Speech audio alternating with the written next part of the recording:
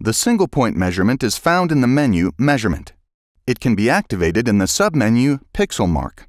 Apart from this, a hot spot and a cold spot can also be set. The thermal imager now automatically searches for the warmest and coldest measurement points in the display. And with the button Show All, you add all other possible measurement points to the thermal image.